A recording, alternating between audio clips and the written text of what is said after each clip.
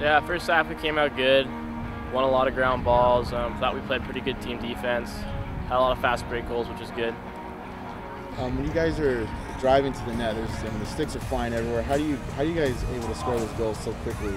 Uh, we do a lot of stick work in practice, a lot of shooting, a lot of quick sticks. So, you know, we train a lot for it.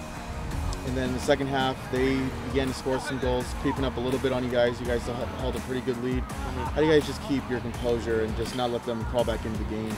Um, you just got to be mentally tough. You got to know there's plenty of time left on the clock, and you just got to. It's all mental mistakes, and you just got to kind of bring yourself in and you know focus up. And then with Servite behind you, where do you guys go from here now? Uh, we play San Clemente on Thursday. All right, good luck to you guys. Thank you.